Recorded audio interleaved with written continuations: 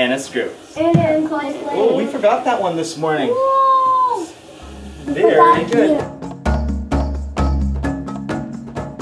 So what we did today was I started by, or we started by activating prior knowledge. So I started by sort of reviewing what we had learned over the last couple of weeks on simple machines. And from there, that sort of opened up our world of um, the arts for us. Once we had activated prior knowledge, what we did was we moved on to the movement portion of our lesson. I asked you to think about a simple machine. Think about how it moves. think about how it makes life, our lives, easier. Visualize. Keep that machine up here. And then I want you to imagine that machine moving. Anyone visualize a pair of scissors working? Anyone visualize? Lily, did you visualize a pair of scissors? I Did- A lever. Come on up. Can somebody help Lily with the scissors? To become the scissors. Oh, oh. Trevor, would you come up? oh. Again. Yep. You are going to become the scissors. Oh. Now I want you to think about the fulcrum, the fixed part of that lever. Which parts of their body could be the fulcrum? Sort of at their belly button. So we need their belly buttons to sort of be together. Ooh. Become the scissors. Well done. Let's give them a hand.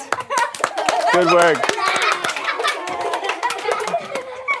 My simple machine out in the garden, I'd be using it like this. In, push down. In, push down. In. So Natalie's our wedge. So we need you to sort of, the bottom has to be pointy, right? You are Jacob the handle, right? So you're the lever part of it.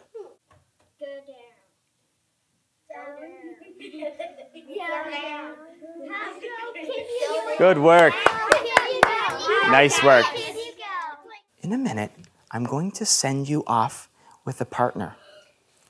I want you and your partner to talk and say, which machine can we use our bodies to move like? I want you to act like that simple machine or move like that simple machine. And I want you and your partner to think of one simple machine, not the simple machine that only you visualized. You have to work with your partner and you have to decide together. Which one are we going to pick? It was challenging because because I had a whole lot in mind. Like I had gears, I had pulley, I had wedge, and lots more. Students have worked in pairs and they've worked together to become their machine.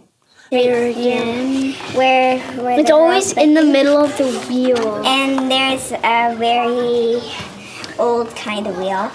Yeah, it's the old-fashioned kind of wheel.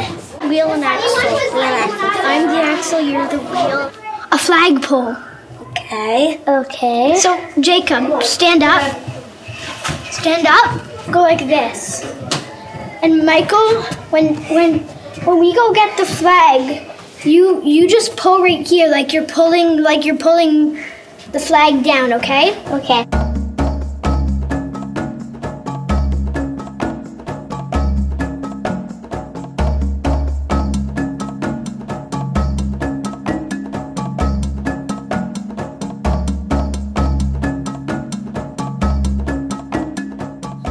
Now what we plan on doing is presenting those movements to the rest of the class and the other the rest of the class is going to try and decipher what exactly what machine they've become. Well, it was difficult for me because Amelia, she wanted to do wheels and I wanted to do wedges. Um, I did a wheel and axle with my friend Natalie, and it was very complicated and hard, and it hurt. It hurt because my elbows got rug burn because I was rolling and put my elbows down. It hurt.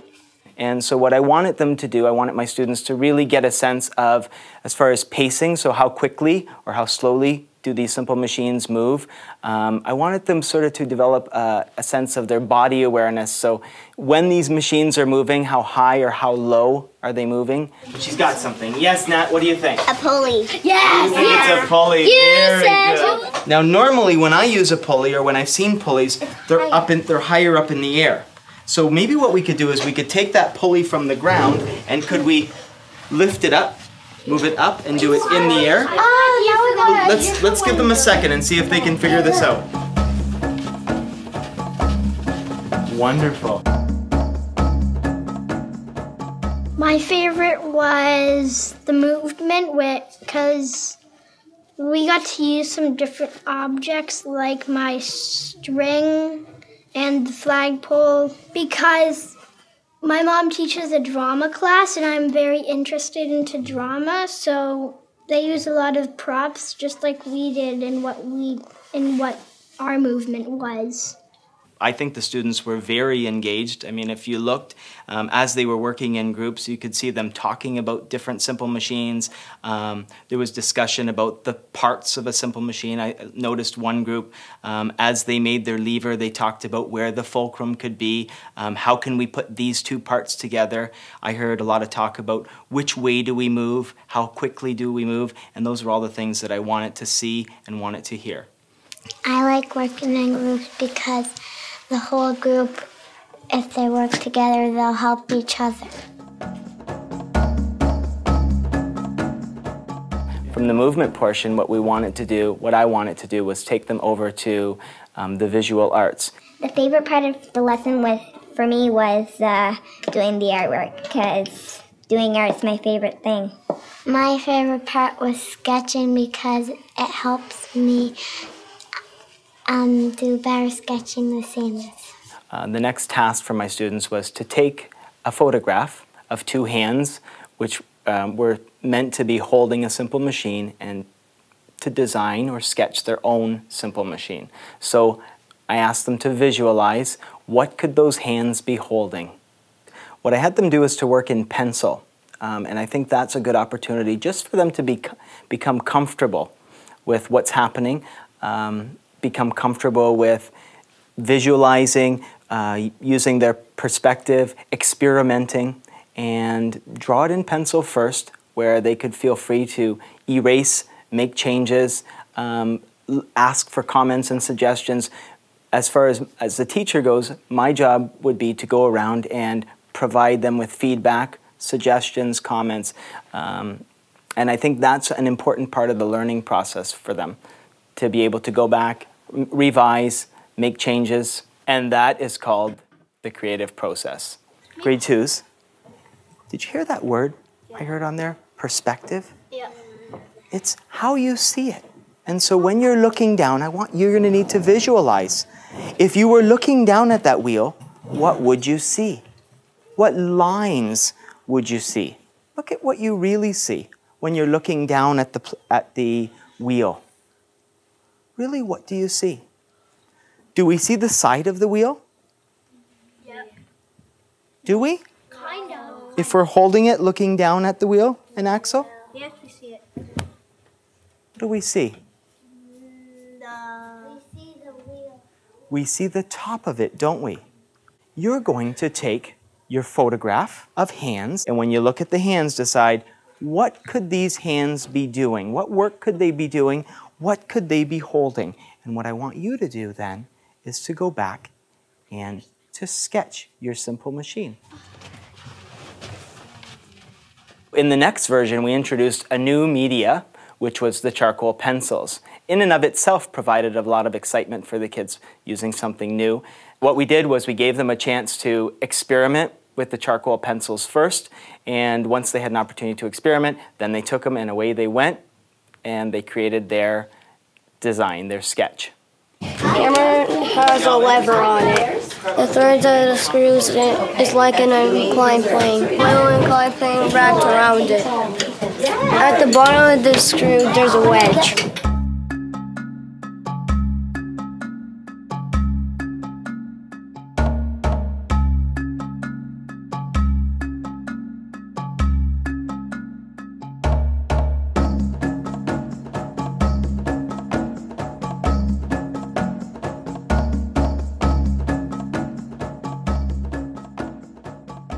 So you noticed how one side was curved and you know knew that the other side needed to have that same curve, right? To keep the perspective. Very good. I need some friends to come up and I want you to sort of look at other people's artwork and maybe give them some suggestions. An important part of this whole lesson was to have my students bring back their first, their sort of rough copy or rough design that they had done and to share it and present it. And we used that as an opportunity to provide each other with suggestions. Uh, for some of them, it was a real a time just for a good pat on the back, a confidence booster. Trevor, you should have um, put this side's handle down so it could be more symmetry. Because if you look, more symmetrical. Yeah, because that the one on this side, this side um is a little bit higher than the other one. That was sort of our practice, and you did a beautiful job. Wonderful, wonderful sketching. What I'd like you to do now in a minute is you're going to go and do sort of a, a I don't know, what, what should we call it? Our good copy. Good copy? Our artist's copy? Yeah. Our, the dream copy? Copy. Yep. Great. The great copy? Copy. Well, I don't know if, if a piece of artwork is ever perfect, because every time we look back at it, we always say, oh, maybe I'd change this. I might do this a little differently next time. Sometimes students have this idea that it has, it's right or it's wrong, and it's not, especially when it comes to the visual arts. Um, it's what you see and what, and what you believe to be the best that you can do and your vision. I'm gonna use a ruler to make the handle more the same size. See how I'm leaving it away from the thumb? Yeah. Go like this, and then you can just trace over this after. Go like that, and then that, and then I go like this and this. So I don't put it through the thumb, because that would hurt. It would look like the rope's through my thumb. So it would look like this. I see those little lines that sort of show the texture on the rope.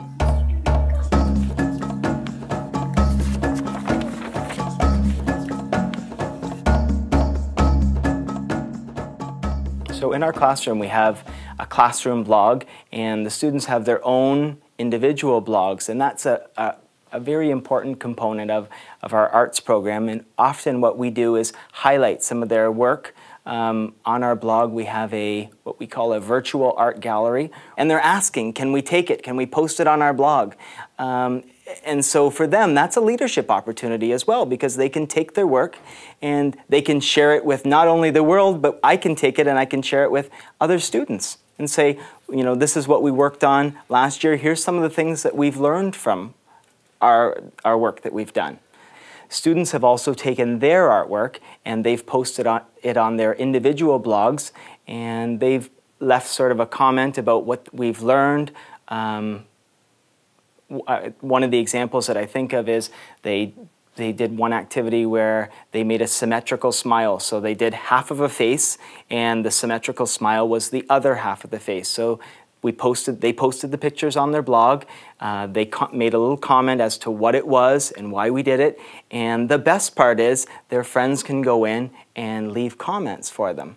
And so that's that whole idea of being able to present what they've done. They've created and presented grade twos, I think the best part about doing artwork like this is being able to share it, isn't it? A gallery walk. Why don't we have a gallery walk? So here's something I want you to do for me.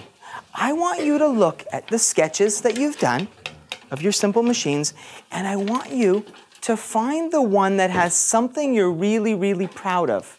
I always think the best part of any piece of art, art that we create is being able to present it and to share it. And so for us today, it was the gallery walk that we did. And you'll notice um, they put their uh, their name on three little sticky notes. And one of the suggestions was if there's something that you really like or something you want to tell that person about their piece of their artwork, um, put your sticky note on it.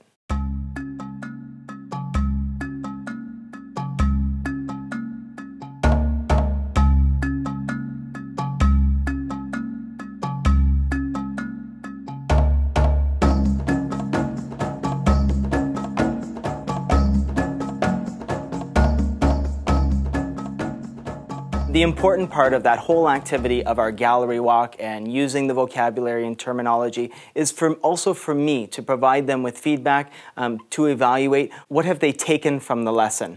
Are they familiar with the, the vocabulary? Uh, do they understand the key concepts? And that's also an opportunity for me to step back and say, um, what do I need? What do we need to work on next? What's our next step? Where do we go from here?